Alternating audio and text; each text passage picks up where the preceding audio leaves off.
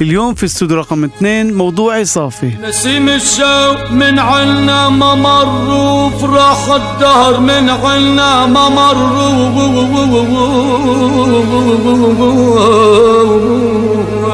صوت مني حشوف صوت جاي من جبل لبنان كأنه مركب في البحر.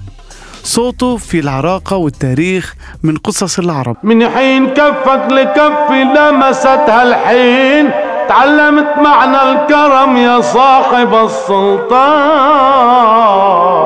وديع الصافي كون بصوته مدرسة جيل بعد جيل عم بخلدها للتاريخ. محمد عبد الوهاب موسيقار الأجيال. حكى عن وديع الصافي إنه هو صوت جبل لبنان. وديع الصافي هو الجبل لبنان. بكل ما فيه من شموخ وشوك ونقر ووحر وديان. وضباب وغنم وغنم وجمال وبتاع. يعني هو هو لبنان. كملت أبحبج في المكتبات والأرشيف ولقيت بروفا. تواجد فيها قطبين من عمالقة الطرب في الوطن العربي.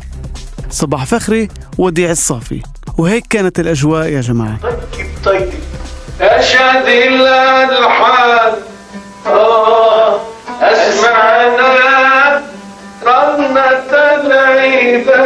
يا لا أيوة أيوة. يا رنة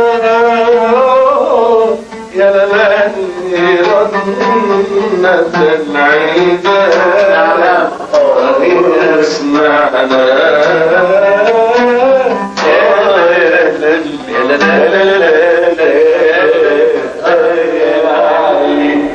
وفي لقاء جمع بين وديع الصافي والشحرورة صباح في برنامج نجيب حنكش.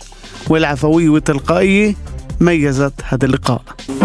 عبد الوهاب الموسيقار طبعا المشهور قال لي بعد ما بيخلق مثل صوت وديع الصافي قال لي ما ممكن يجي مثل صوت الله يخليكي الحقيقة. وقدامي أنا واكل وناكل الخير خير يعني. بس يا خيي أنا أنا بيهلكني. بكون أنا وياه على المس على المسرح بيخدعني.